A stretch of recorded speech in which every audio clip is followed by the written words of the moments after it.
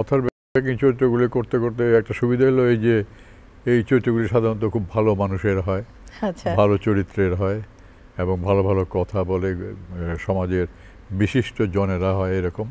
এগুলো করতে আমার ভালো লাগতো। সেটা যে আমি বাস্তব জীবনেও খুব শান্তপ্রিয় শান্তশিষ্ট।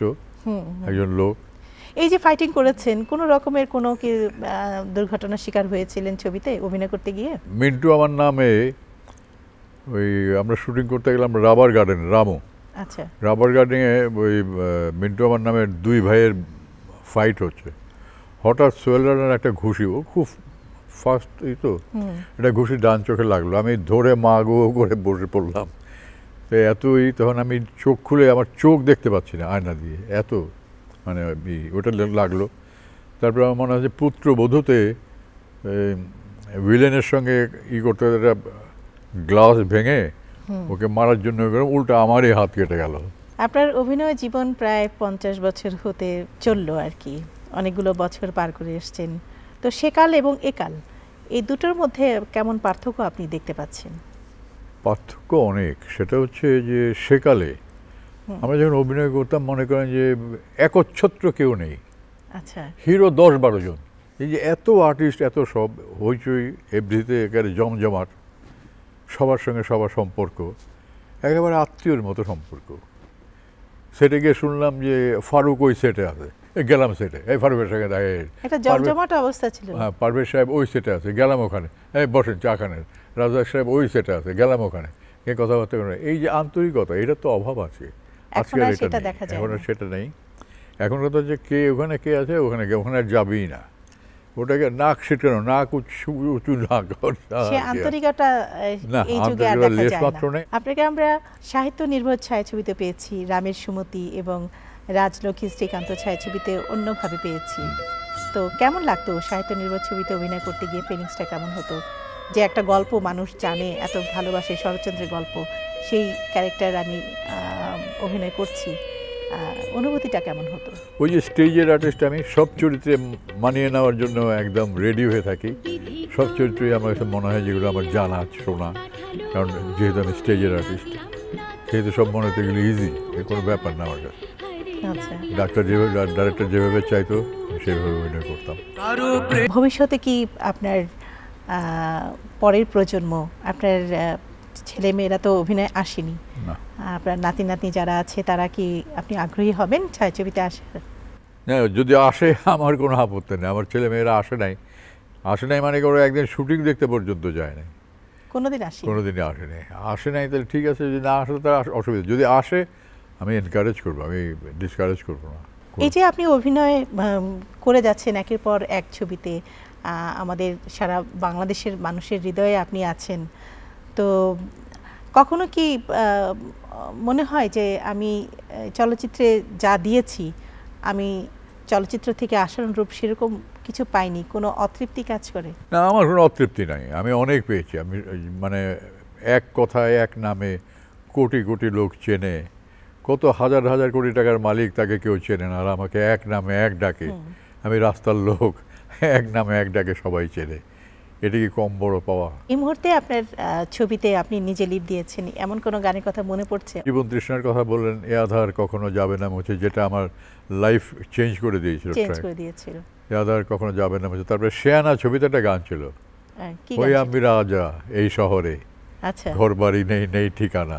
আচ্ছা। একটা গান ছিল অলিভিয়া ছিল হিরোইন। আচ্ছা আচ্ছা। সুচন্দার আমি একটা গান ছিল রোমান্টিক গান ছিল আর এমনি অনেকগুলো গান ছিল ছবিতে। আপনার শৈশব এবং কৈশোর এবং পড়াশোনা কোথায় করেছেন? সব কিছু ঢাকা। আমি ঢাকার ছেলে। আমার জন্ম হয়েছিল চাঁদপুর আমার মামা বাড়িতে। তারপরে ওই ওল্ড টাউনে হরিপ্রসন্ন মিত্র রোড এটা আমার ঠাকুরদার নামে রোড আচ্ছা আচ্ছা। ওই তাঁতি বাজার শাকারি বাজার ওটার হ্যাঁ, মাঝখানে ভেতরে। এইখান থেকে আমি ওই সেন্ট স্কুলে পড়েছি। তারপর ওখান থেকে পগজ স্কুলে পগজ স্কুল থেকে আমি ম্যাট্রিক পাশ করি। আচ্ছা। তারপরে জগন্নাথ কলেজ থেকে ডিগ্রি পাশ করি তারপরে Dhaka university institute of statistical research and ট্রেনিংয়ে এক বছর ট্রেনিং নিয়েছিলাম। তারপর আর পড়াশোনা হয় নাই। একটু আপনার পরিবার সম্পর্কে জানতে চাই। আমার বাবা মা তো গত হয়েছেন অনেক আগেই। আচ্ছা। এরপরে আমার স্ত্রী উনিও মারা গেলেন দুই হাজার সালে। আর আমার এক মেয়ে তিন ছেলে। আমার স্ত্রী অজন্তা। জি। এই যে কীভাবে এই ছেলে মেয়েগুলোর মানুষ করেছে এটা ভাবতে অবাক লাগে। সেটা হচ্ছে যে ফিল্মের এবং এই নাটকের এই এইসব লোকগুলো একটু খাম খেয়ালি একটু পাগল পাগলাটে ভাব এদের হয় আর কি। আচ্ছা, এদের আচ্ছা। সংসার কীভাবে চলে না চলে কোনো জানে না কিন্তু এই চলছে অভিনয় চলছে অভিনয়ের পেছনে চলছে। আমারও ঠিক তাই। সেটা হচ্ছে যে আমি অভিনয় করে যেতাম কিন্তু আমার ছেলে মেয়েরা কীভাবে মানুষ হচ্ছে কোথায় পড়াশোনা করে কি করে কিছু জানি না।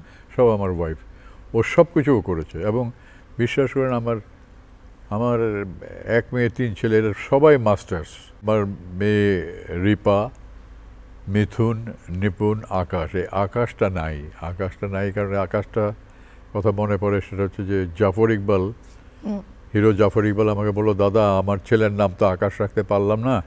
আপনার ছেলের নাম আকাশ রেখেন।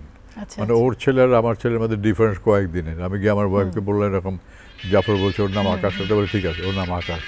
আকাশ এখন আকাশে আছে। জীবনে।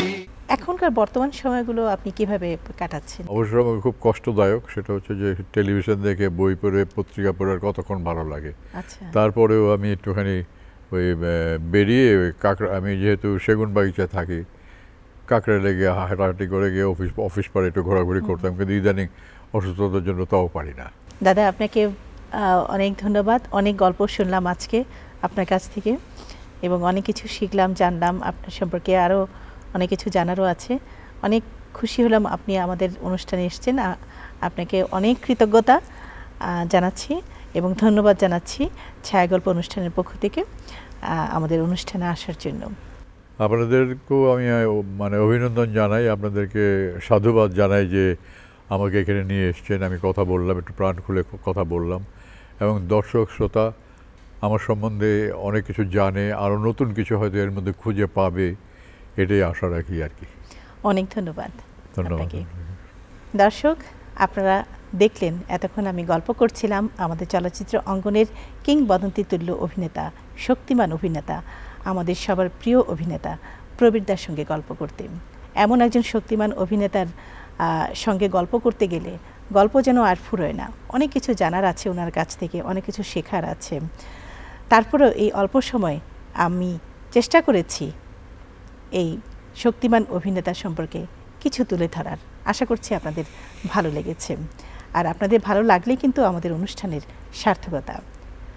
আজ এই পর্যন্তই। আগামীতে আবারও দেখা হবে চলচ্চিত্র অঙ্গনের অন্য কোনো জনপ্রিয় তারকার সঙ্গে। ততদিন পর্যন্ত আপনারা সবাই ভালো থাকুন, সুস্থ থাকুন, সুন্দর থাকুন। সবার জন্য রইল শুভকামনা। আল্লাহ হাফেজ।